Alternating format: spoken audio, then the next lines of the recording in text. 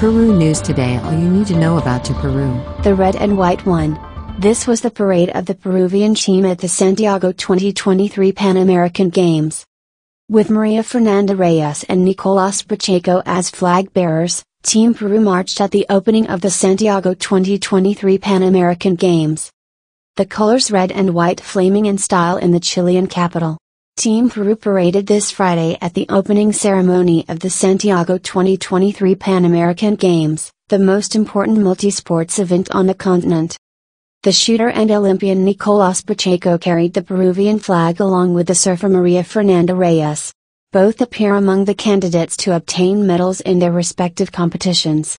Prior to the parade, it was decided to change the flag bearer, which was initially going to be the long distance runner Gladys Tejeda. This was carried out at the request of the marathon runner to avoid any injury before her race, Sunday, October 22. The Peruvian team showed effusiveness during its visit to the National Stadium in Santiago, where athletes and members of the delegation appeared. Peru has taken 216 athletes to the 2023 Pan American Games, which will take place until November 5. The intention of the Olympic Committee is to try to surpass the 41 medals achieved in Lima 2019, 11 gold, 7 silver and 23 bronze.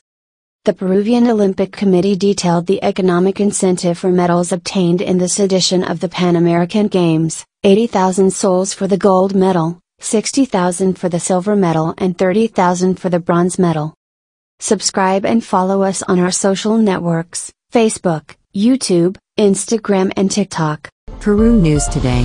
Follow us on Facebook and Instagram.